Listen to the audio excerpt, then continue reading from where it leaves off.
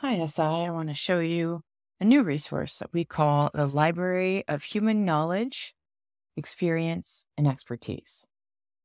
Get to it. You go to www.siprep.org slash library.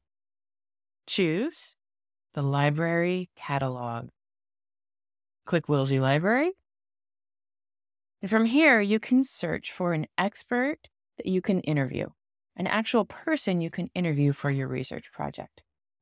And this library of experts, this library of human knowledge is included in our library catalog. To see the whole list, you can use in quotation marks, interview resource. Remember, quotation marks are searching for an exact term. And here's our complete list at this point of people who are happy to share their experience with you. You'll notice with each person, if you click on it, they give you more information about what they can talk about and what information they can share. If you want to refine your search for a specific area,